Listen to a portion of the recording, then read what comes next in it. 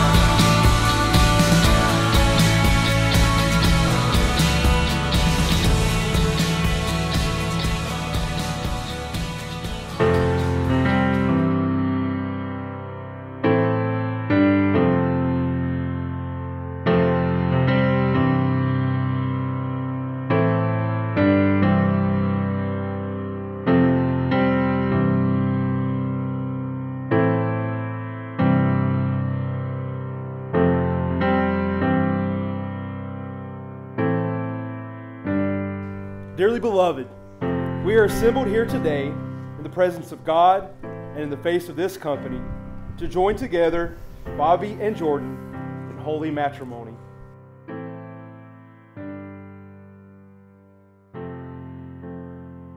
One of the greatest honors I have as a pastor of the gospel is the performance of the marriage ceremony for two of God's children. Marriage is especially sacred as it is a covenant and a promise before God a picture of the relationship of Christ to his church, and a testimony to God's promise to those who love him that all things work together for good. You see, the paths we take are not always of his choosing. There can be heartaches and trials, joy and pain. But I believe this couple stands here today before God and this audience as a declaration of the steadfast and never ending love of God their love for each other.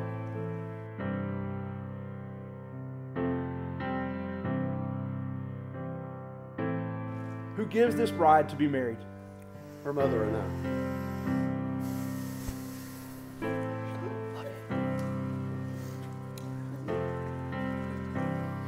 The love of God that He has for us is the same love that you should have for one another, and the same love that we are all compelled to have for each other. If I speak in the tongues of men and of angels, but have not love, I am a noisy gong or a clanging cymbal. And if I have prophetic powers and understand all mysteries and all knowledge, and if I have all faith so as to move mountains, but have not love, I am nothing. If I give away all that I have and deliver my body to be burned, but have not love, I gain nothing. Love is patient and kind. It does not envy or boast. It is not arrogant or rude. It does not insist on its own way. It is not irritable or resentful. It does not rejoice at wrongdoing, but rejoices with truth. Love bears all things, believes all things, hopes all things, endures all things. Love, it never ends. Faith, hope, and love abide these three. The greatest, the greatest of these is love. Bobby and Jordan, today you celebrate one of life's greatest moments and give recognition to the worth and the beauty of love. Jordan, you're my best friend, and undoubtedly the love of my life. The greatest things in life are blessings we receive when we least expect them. Bobby, when I met you five years ago, I would have never guessed that we would be standing here today. You were completely different from anyone I had ever dated. You had long hair, dressed like a frat boy, and the first thing you said to me was, Nice to meet you, darling. When we met, neither one of us wanted a long term relationship. But thanks to our best friends and our love, here we are. I knew from the day we met, I needed you in my life forever.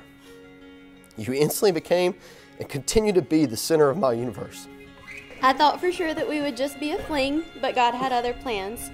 Since that first night, we have been through many trials that would have made it easy for any couple to throw in the towel, but we didn't.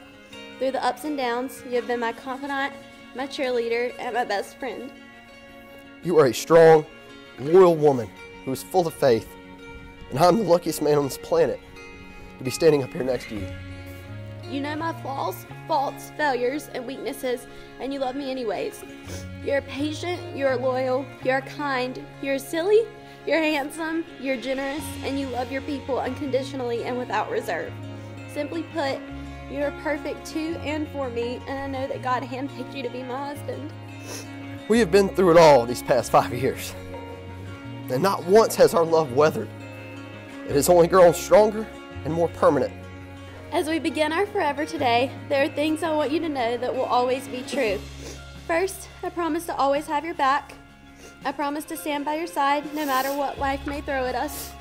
I promise to never stop pursuing you and to do my part to make our life together fun and adventurous.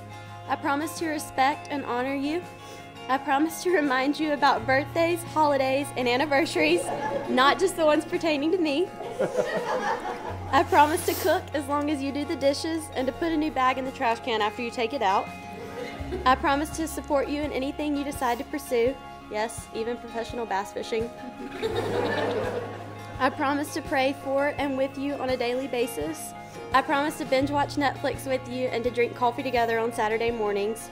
I promise to remember that our marriage is a blessing and to treasure it and cultivate it every day. I promise to love you unconditionally with my whole heart for the rest of our lives. I cannot wait to build our family together and to take on all this life has to offer. I know without a shadow of a doubt that with you and our Lord and Savior Jesus Christ, we can do anything we put our minds to. And lastly, I promise that even when we're old and gray, I will see you with the same eyes and a heart that I do in this exact moment.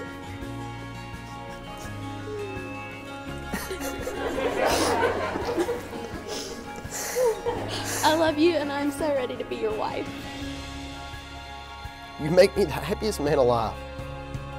And I promise to strive every day to be the strong and loyal husband you deserve. I vow to constantly place God the center of our relationship and to hold us to our faith. I love you, Jordan Garrison, forever and always, as long as we both shall live. Oh God, you have so consecrated the covenant of marriage that in it is represented the spiritual unity between Christ and his church. Send therefore your blessings upon these your servants, that they may so love, honor, and cherish each other in faithfulness and patience, in wisdom and true godliness, that their home may be a heaven of blessing and peace. Through Jesus Christ our Lord and Savior, who lives and reigns with you in the Holy Spirit, one God, now and forever. And now, since they have made these commitments before God and this assembly, and by the authority of God and the laws of this state, it gives me great pleasure to pronounce you husband and wife. What God has joined together, let no man separate. Bobby, you may now kiss your bride. When we're born into this world, we don't really get a say. Little boys and little girls handed the brand new families. There comes a time in life when we finally get to choose, and I choose you. I choose you. We can't give our two cents of how tall we wanna be. We don't get an opinion on our ethnicity, but the one we spend our life with, that we get to choose. I choose you. I choose you.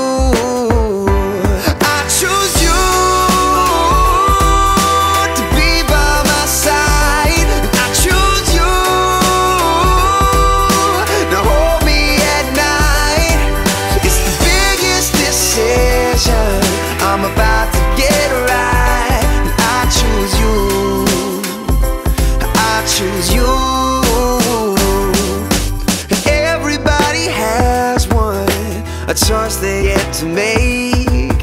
Half human, half heaven, that decides the family tree. Now we all pick the branches. That then become the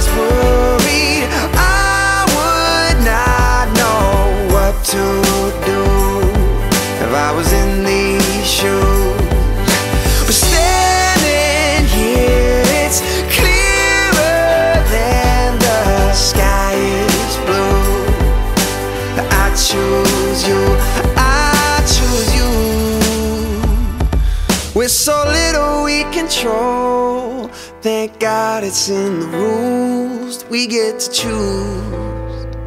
And I choose you.